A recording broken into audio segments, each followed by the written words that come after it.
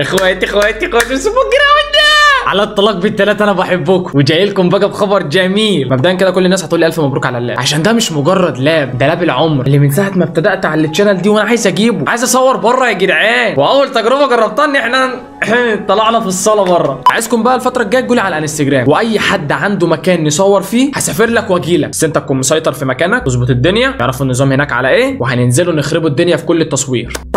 خلصان آه هتكلم كده يعني؟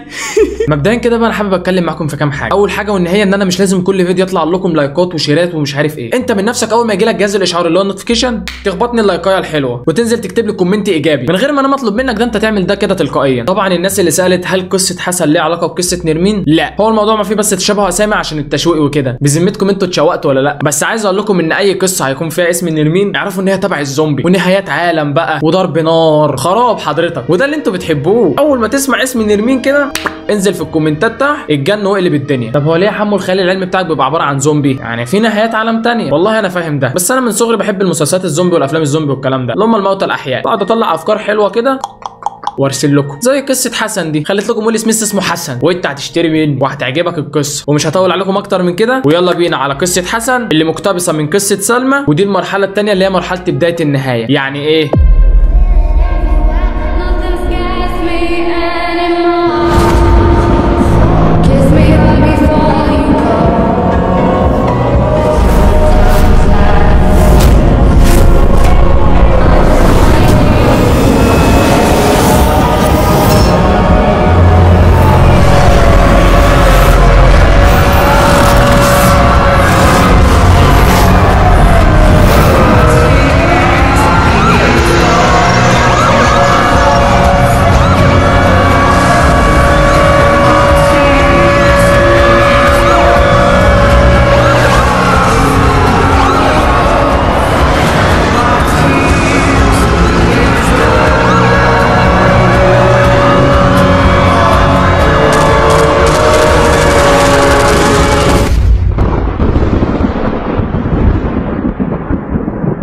أنا جبت ورقة وقلم. وهكتب شوية حاجات كده. يا ريت تركز معايا فيهم عشان انت اللي باقيلي. ازيك يا نرمين عاملة إيه؟ يا رب تكوني بخير. ما تركزيش معايا في اللي هقوله. بس أنا عايز أكلمك في شوية حاجات حصلت معايا. يمكن أنت لو كنت موجودة كنت غيرتي معايا 80% من الحاجات اللي حصلت. واكتشفت حاجات ياما قوي اكتشفت إن أنا أقدر أعيش لوحدي. بس أنت ما بتفرقيش ذهني. أنا ما أعرفش هو أنت سبتيني ليه؟ وإيه السبب اللي خلاني إن أنا يوم ما أطلع أنتقم من عم شارون تسيبيني لوحدي؟ طب أنت عايشة ولا ميتة؟ طب أنت عايشة فين؟ حياتك ماشية إزاي؟ تفاصيل كتير قوي كنت عايز أفهمها وعايز أعرفها. طب ليه ما خدتيش نيمو معاك وسبتي لي نيمو. على فكرة نيمو بقى عنده سنتين دلوقتي. وبقى بياكل من نفس أكلي. وبقى بيشرب من نفس شربي. بقى صاحبي. ده حتى إحنا بننام على فرشة واحدة وما بيفارقنيش. لأن دي الحاجة الوحيدة اللي باقيه لي من ريحتك.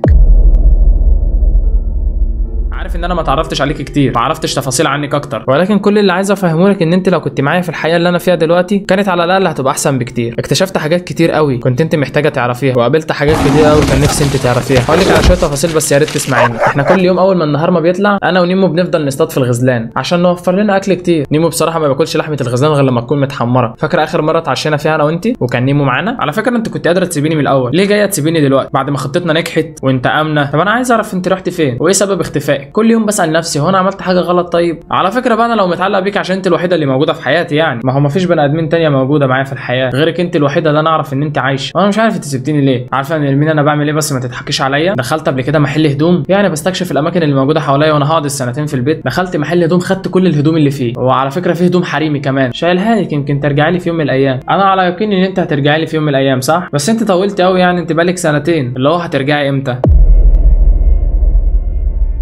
مش هتصدقي بقى عملت إيه. دخلت جوه محل الهدوم وجبت المساخيط اللي هي كانت بيتقاس عليها الهدوم دي. ورحت جاي حاططهم في متجر كده أنا بجيب منه أكل كل يوم. هتقولي لي عملت كده ليه؟ هقول لك عشان عايز أتكلم. عايز أفتح مع أي حد مواضيع. أول ما بخش المتجر يا بت يا نرمين. إزيك يا عم عوض؟ عيالك عاملين إيه يا حبيبي؟ إزيك يا عم عاملة إيه؟ نيمو أنا هخش عند قسم التونة ها؟ دخلت جبت علبة التونة. بقول لك إيه كاشيرو؟ أنا عارف إن أنت مش هترد عليا يعني وكده بس أنا بكلمك يعني من أخ لاخوه قدرني عيب رد عليا. وأنا بجيب التونة لقيت في واحدة واقفة هناك. قطعت عليها بصراحة وأنا واقف عند التلاجة اللي أنا صلحتها لكم من كام يوم عشان كده أنا باخد منكم أكل ببلاش. وكله على الحساب يعني يا كاشيرو. أول ما شفتها قلت جميلة بس نرمين أجمل منها طبعا. المهم يعني يا كاشيرو أنا عارف إن أنت مش هترد عليا. ما رضيتش أفضل بحلق لها كتير بصراحة. لا تطلع تبع حد إحنا نعرفه. بنت راجل كويس في البلد معانا هنا تبع أم معوض تبع عم وائل الحداد. عمك وائل الحداد بقالي كام يوم والله العظيم بروح أخبط عليه عمال بيشتكي لي من ضرب النار اللي أنا بقعد أضربه بره. ما أنا ونيمو بنصطاد غزلان هو زعلان ليه؟ رحت يا ده كاشيرو أتكلم معاه كده الله عايز آكل معايا غزلان. يا راجل انت عظمتك لسه ما كبرتش. ده انت يا دوبك عندك 65 سنة. بصراحة هذاكا شيرو بروح أكلمه زي ما بكلمك كده. سكوته ما بيجيش معايا يعني. حاسه ساكت وما بيبصليش. يمكن انت ساكت وبتبص لي. فعشان كده أنا مقدرك. التونة على الحساب زي ما أنا ما قايل لكم ها؟ أنا اللي مصلح التلاجة. وأنا اللي رابطها بالبطارية الحرارية. عارف إن في أزمة كهرباء في المكان بس برضك هعرف أشوف لها حل دي ما هو أنا شغال على الموضوع. يلا سلام عليكم. يلا ده نيمو! هتقولي عليا اتجنيت هتقولي عليا بعمل حاجات غريبة. القعدة لوحدي بصراحة هي اللي وصلتني للي أنا فيه ده. طب يا نرمين هقول لك على حاجة. انت لو كنت معايا دلوقتي كان زمانك واخدة اللبس اللي أنا جبته لك. كان زمانك بتاكلي أحلى أكل. كان زمانك بتشربي أحلى شرب. وصلت بذكائي يعني وكده. قدرت إزاي فلتر المية؟ أنا عايز أقول لك المخزن اللي انت كنت منزلاني فيه من سنتين كل الأكل والشرب وكل حاجة انت كنت شايلاها أنا شايل منها الطقطقين وثلاثه بس أنا مش هاكل كل الأكل ده لوحدي يعني. تفاصيل كتير عايز أقول لك عليها وحاجات كتير عايز أفهمها لك. نسيت أقول لك أنا في حاجات كتير قوي اكتشفتها. فاكرة يا بنت يا نرمين لما رحت قضيت على عم شارون مش كان في قدامه شوية ورق؟ أنا خدت كل الورق اللي عنده ده وقعدت أقرأ فيه فيما بعد. اكتشفت إن الورق ده فيه حاجات قادرة تكتشف علاج للفيروس بتاع كوفيد 25 بس أنا مش عارف أكتشفه لوحدي. بحاول أتعلم في الطب شوية. قراية المحاليل صعبة.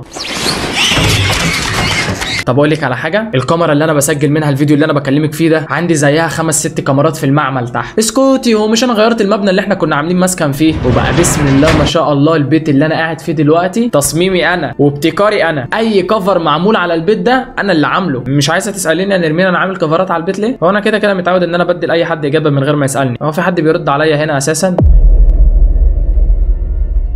بعد ما خدت الورق من عم شارون اكتشفت إن فيروس كوفيد 25 اللي هم دلوقتي البشر اللي اتحولوا لموتى أحياء ما بيقدروش يطلعوا في الشمس. وده بسبب المظر المطورة. كان في حاجة اسمها المظر المطورة. عم شارون والمنظمات اللي كان بيتعامل معاها مع الدول الأوروبية والدول الأجنبية قدروا يوصلوا لحل إن هم يحاولوا يبتكروا علاج يعطل الموتى الأحياء دول عن أذيتهم. إزاي يعني؟ حاطين أقمار صناعية في الفضاء بتدي عاكس لمجرد إن الشمس بتضرب الضوء على القمر الصناعي ده بيعكس ضوء الشمس ومعاه جزيئات المظر المطورة. هفهمكم أكتر. دلوقتي الموتى الاحياء بيبقوا مستخبيين في كل جحر وكل مكان. وده سبب من الأسباب اللي معطلني في الاكتشافات وكده. في متاجر ما بقدرش أدخلها في محلات في مباني في أماكن ما بقدرش إن أنا أدخلها بسبب إن أنا خايف إن يكون فيها موتى أحياء متداري فيها لحد ما الشمس ما تمشي. الدنيا اتغيرت يا نرمين وعايزك تعرفي حاجات كتير قوي معايا. المهم أول ما الشروق بيجي يبدأ من هنا والشمس بتبدأ تروح بروح جاي شادد كفرات البيت وبروح جاي مقفل عليها الشقة أنا ونيمو. وبقعد أسمع أصواتهم طول النهار بره حتى هم برضك ما بيبقوش عارفين إن أنا مكاني جوه هنا. ونيمو برضك بدأ يفهم ما بقاش بيهوهو بالليل.